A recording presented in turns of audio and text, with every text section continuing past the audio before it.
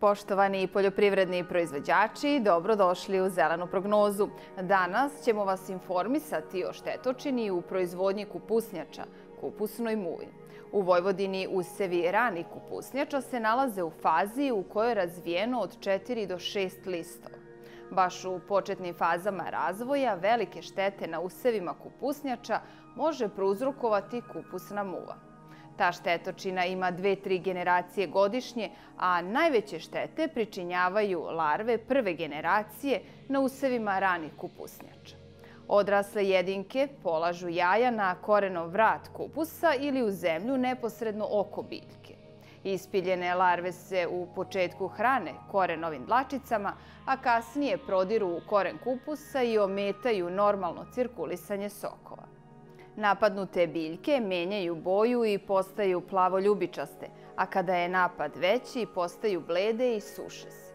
Morate imati na umu i to da mlade biljke mogu biti uništene od samo jedne larve. Pre dve nedelje informisali smo vas o letu u kupusne muve i potrebi sprovođenja mera zaštite usevima tek rasađenih kupusnjača. Na feromonskim klopkama i dalje se registruju ulovi odraslih jedinki. Pregledom biljaka uočena su novopoložena jaja oko korenovog vrata.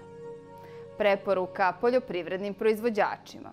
S obzirom da je i dalje u toku let kupusne muve u usevima kupusnjača, neophodno je da sprovedete još jedan tretman u cilju suzbijanja odraslih jedinki i sprečavanja polaganja jaja preporučuje se primjena sledećeg insekticida.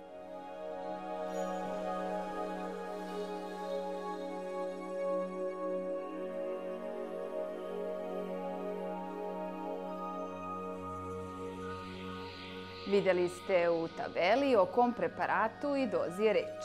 Poštovani gledaoci, o ovoj temi toliko za sada. Pratite naša naredna izdanja svakog radnog dana nakon Vojvođanskog dnevnika, a sve nedoumice možete otkloniti i na sajtu www.pisvojvodina.com. Do sledećeg viđenja, svako dobro!